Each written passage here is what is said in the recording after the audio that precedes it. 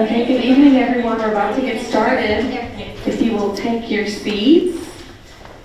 We started a little bit late, so thank you for your patience. I'm Tierney Tinnin, the Executive Director of Communications for the Irving Independent School District. And tonight, this is an opportunity to get a quick overview of the search for a brand new superintendent, and then also give you all an opportunity, if you have not already, to complete the input form. There are Chromebooks in the back, and then also some paper forms in both English and Spanish as well. At this time, I would like to turn it over to Board of Trustees President, Mr. Randy Randle.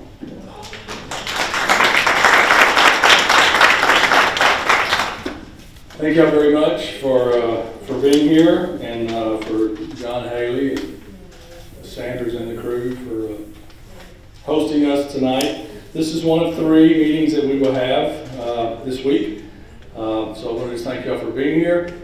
Uh, I also would like to introduce, uh, I am Randy Randle, I'm the president of the board this year.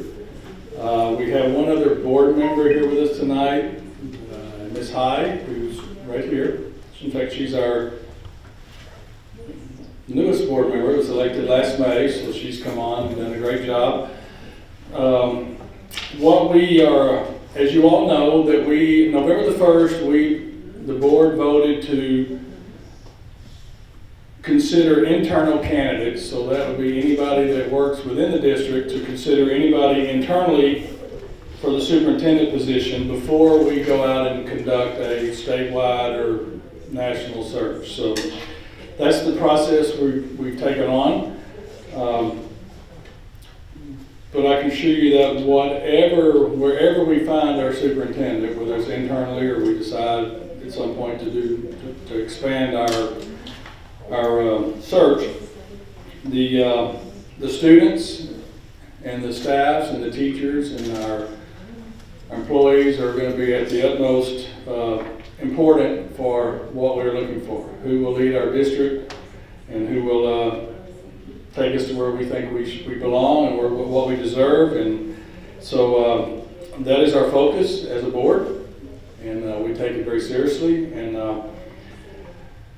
so what we are, the reason why we decided to look internally uh, first is after we kind of made the transition of the previous superintendent leaving, uh, we want to just kind of have a period of where, you know, things kind of just, let's kind of, through the transition, we just kind of get back to normal, calm things down a little bit, so we can all kind of get back to work and, and doing what we do, which is focus on our students.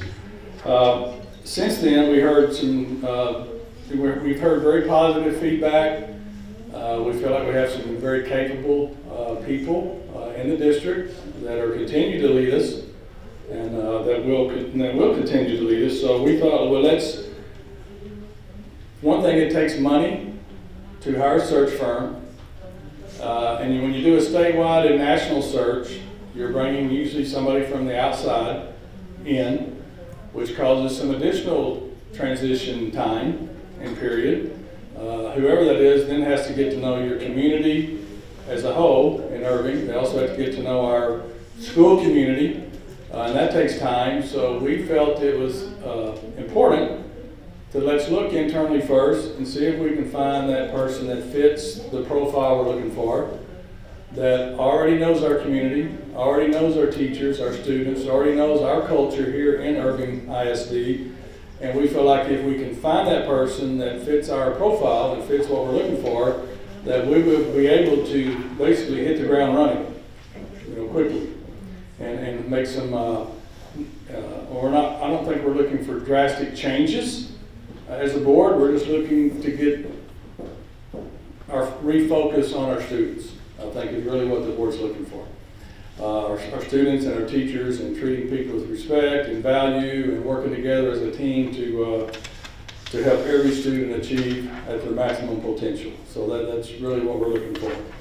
Um, so that's the reason why we kind of look internally, chose to do that. We have an application process in place now, so uh, applications are being taken from any internal candidates. That will close on November the 16th, on Friday the 16th. Um, So tonight, what we're doing is we're basically here asking for your help. The board, we have already developed uh, the board has already done this survey that we were gonna ask you to take and participate in. We've already done this as a group, so we have already kind of compiled our board profile of what we're looking for.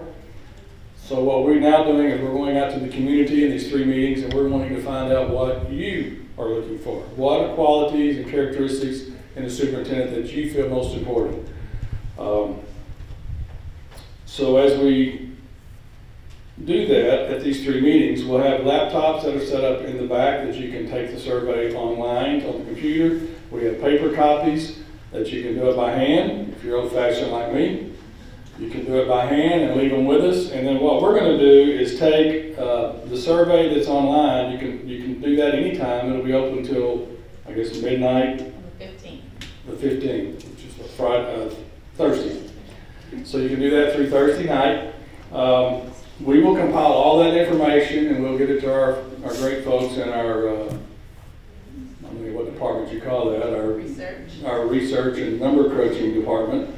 And they will put all this data together and put it to, uh, with what we've gotten from the surveys online as well as these three public meetings. They will put that together to form and help us see what our public, our, public community, uh, is, what their profile looks like and the qualities and characteristics of the superintendent that they want. We will then take that and mesh that with the boards.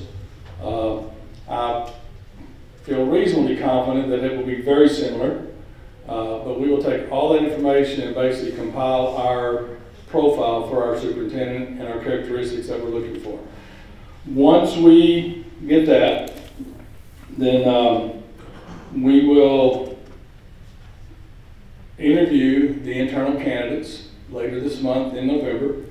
Uh, And in the process of interviewing them, we will use this profile of the characteristics and qualities that you as the community have, have provided for us.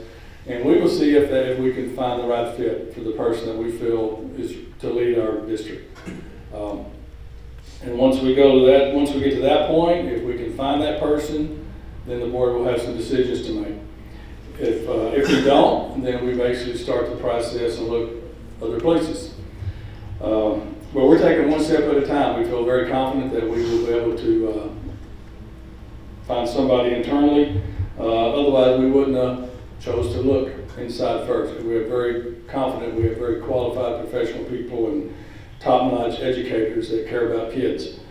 Uh, So, on behalf of the Board of Trustees, I want to thank you for your input that you'll give us and your continued support for our district. Um, I can assure you, we will do our best to pick the right person for this district to lead us into the next, uh, in the next few years. Uh, Someone that's a visionary and that remains focused on our kids and our students. Because that, that's, that is real, that's the mission we have in Irving ISD is it's all about the kids and supporting our teachers and, and, and really making ourselves as a team, whether it's from our facility and cafeteria folks, it's, it all plays a part in educating our kids. Um, I've told the story, so when I met with the uh, facilities people and they had all the, I guess the custodial staff was there at the beginning of the year as well as the food service people. I do not remember all of my elementary school teachers. But I do remember the lunch lady that took my money every single day. And, uh, in fact, she just passed away about two months ago. Um, and I remember her, always smiling and always loved me no matter what kind of mood I was in at Otis Brown Elementary School. So I, I can attest to you that everybody in our district makes an impact. Uh, I don't remember all my high school teachers, teachers, but I do remember Mr. Wells, who was the lead custodian at, at Nimitz. Uh, always talked to us in the hall. If you, you couldn't get to the counter, you go talk to Mr. Wells. Uh, and he had uh, some very insightful uh, insight on what we should be doing at, at, at school. Uh, and very positive, and so it takes a team effort. I think we're all on board with that. So with that, we're gonna, we have refreshments. Uh, you can fill out, we're- would love for you to hang around and fill it out tonight, either the paper ballots or at the computer you can do it. We have some refreshments here you're welcome to, to have.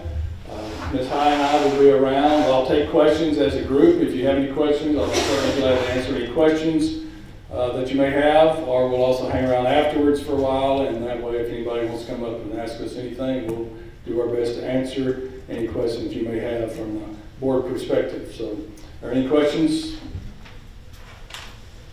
Yes, I just want to make a comment. My, my name is Mary DeTuckett, and I am very proud that you guys, you as board, as far as the board, decided to, um, search, do the search in, in-house. I've always thought that that should be it, but I'm, I'm glad you decided, so I'm very. Thank you. Anyone else? There is now, on this survey, paper or online, I don't, there is not a place for general comments or additional comments. Um, So it's not open-ended. We tried to, uh, we we were given advice to try to keep it pretty structured, otherwise you get a wide range from, you know, from here to here. And we're not gonna find that person that's perfect. Uh, So we wanted to really look at the qualities that we can, we can see. So if you take the survey and you see a quality or characteristics that you just really feel is important to you, and it's not uh, on that list, feel free to let us know, uh, either tonight, or you can send us an email. Our emails are on our, on the district website. Um, We've already gotten a couple that, uh, from folks that took the survey and had some additional thoughts, and, uh, we will certainly take all of that information in and will be presented to the board, so, uh, any other questions? I have one about, I have one about internal applicants. Do you know yet, do they have to have certain certification? Have a PhD? What, do you know any of that yet? I mean, that's what the internal look like? Uh, I believe they have to have a superintendent certification. Okay. Um, Other than that, and we have several in our district that do have that. Several. I didn't know there was just- Yeah, we have several in our district that I believe have that superintendent certification, that are qualified, you know, by the state, that they can be most of your administrators have that superintendent. Yeah, and, and to be honest with you, I have not even checked, so I do not know how many people have applied. Um, I have not asked, and, Well, there's still plenty of time. Yeah, so we have till Thursday or Friday, it's just concentrated on the administration people, the people at the building, or is it further out? You know, I think- You don't know? it's open to anybody that meets the qualifications. They do have to have a superintendent certification, and, Okay. and I think other than that, that's, educational, no, PhD is not required. Yes, ma'am. Are you gonna be looking at people that have building administrative, uh, experience? Like they've been a principal in a building, are you, are you gonna be looking at that seriously?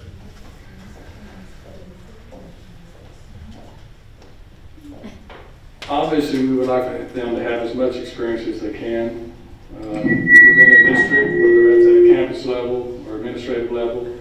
Um, I can tell you from my perspective, personally, I'm not speaking, I'm not speaking for the board. I'm not speaking for the board. My personal opinion is, is I'm looking for somebody that knows how to surround themselves with top quality people and will empower them to lead us in the future. And that will treat people with respect and value. Even when we disagree, we do it in a way that is always promoting our district and our students. And so that's, that's my personal opinion on what, what I'm looking for. So I'm not looking for, I have not created this box that I want to fit them in. Uh, and I don't think the board has either. I think we're looking for somebody that, you know, so- sometimes you just gotta take the qualifications and you see what we get in and sometimes it's the old fashioned way, you just gotta go with a gut feeling. Because we have talked to a lot of districts, we've been in training, a lot of people have done the national, done the national searches. It's not a guarantee if you do this big search that you get somebody that's the right fit for you. I mean, uh, you know, we've been through two of those this, in the district. Uh, superintendents, have, you know, and they both have brought good things to the district and done good things. but they lasted, you know, four to five years. Uh, uh, You know, I think we would love to have somebody that we could bring on that we just, you know, would, would be here, a good foundation for us for the next, you know, ten to fifteen years. So, uh, that's what I think we're looking for. Any other questions? Yes, ma'am? How long have you been looking? Well, we started, actually on November 1st is when the board voted on the process to start looking internally first. Up until then, we have been just kind of gathering information. Uh, We, the board's done some training on the search process, so we've, we've kind of been preparing ourselves for this uh, as a board. So November 1st is when we actually started, uh, the actual voted to look inside first, and then we just kind of go through that process and see where that leads us, yes. Yes, ma'am? I think, Well, I think they, I, you kind of answered my question, but. Anybody else? Yes, ma'am. Are you looking age appropriate, I mean, are you looking for an older, well-experienced person? Or are you just looking at qualifications that maybe be, could be somebody within the district already? Ask that question again. Okay, are you looking for somebody age-wise, an older, more experienced person? Or somebody that's coming in with zero experience? This is a big pair of shoes to fill, the mess that we're in right now. I would hope they would be, I'm looking for somebody really young and energetic like myself. Uh, no, I think that, like I say, we're not, obviously, we want them to have experience. Uh, So, I mean, I, I, it just depends on the qualifications they bring to the table, but I think we would want them to have some administrative experience. Uh, You know, we have several uh, assistant superintendents and directors that have that are certified to be superintendents, so um, uh, most of them are, I'd say, younger, uh, younger than me, and um, so I, I, That I be an infant, they're younger than you. Yeah. So I think they would be, uh, I think, so I don't think we have any age criteria we're looking at. I think we're just looking for the right person that's got some passion and energy that, uh, plans to be here for ten to fifteen years. Yeah, we- we're not looking for this as a stepping stone position to move up to someplace else. And maybe somebody that can stop this inter school, inter-city school we've got going on. That's exactly where Irving is headed. Is there, I mean, somebody that can stop some of this. We are looking for somebody that can help us solve all of our problems. We're not gonna find, we're not gonna solve them all, but we're gonna sure get somebody that can put a team together that can, uh, I think, lead us and, and focus on our students. Yes. I want someone also that can help our teachers.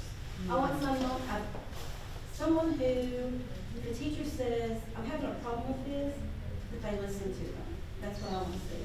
And someone who knows that those teachers are the most valuable employees that we have. I'm not saying that the superintendent's not, don't get me wrong, but the people in the classroom, in the trenches, are the people who need a lot of support. And, uh, Okay. Yep. Well, in that characteristics, I think it probably has some characteristics related to that.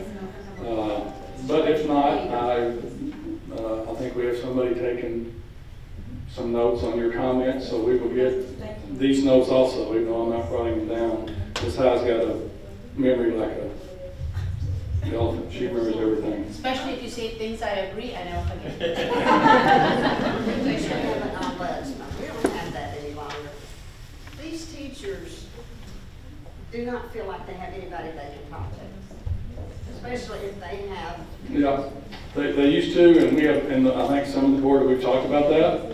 So uh, that's probably something we're gonna look at, come up with a system that, uh, no matter who the superintendent is, come up with a system that has a way that teachers or anyone can have a voice, uh, that can get, that the board can be more aware of concerns that we have that otherwise we may not know. And some of these teachers, they don't have a clue what they really can do in a situation because they have a principal that's not real helpful, Yep. and then they just shut down because they don't know where to go. Yeah, well, I think the board has, has talked about all that, trying to come up with a little better system that can, uh, the board can be a little bit more accountable, uh, for ourselves and for our folks, that we can get, a little bit more of a a streamline the communication line, that the board is more aware of, of what's happening, what's going on, make it easier for our community and teachers to Yes, ma'am.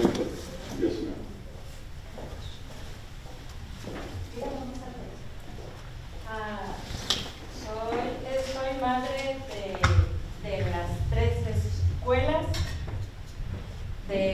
tres eh, primero, o sea, mis hijos han estudiado en estas escuelas. Y, y eh, de los años que tengo asistiendo a las sí han tenido falla.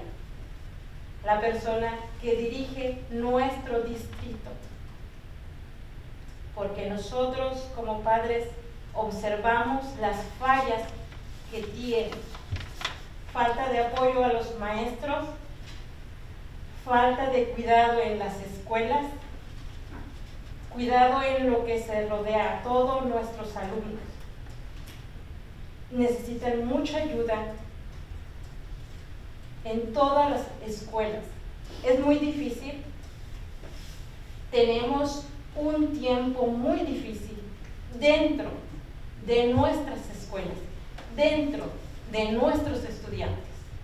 Y necesitamos una persona que sea capaz y tenga esa capacidad de manejar, no estar sentado ahí, sino que maneje todo lo que se llama el sistema de un distrito no es la palabra. La palabra es nuestro estudiante, nuestro maestro y nuestras escuelas. I have children here in all three levels, elementary, middle school, and high school. I've been in this district for many, many years, and I can tell you that this district has a lot of faults. Has a lot of faults from the very top.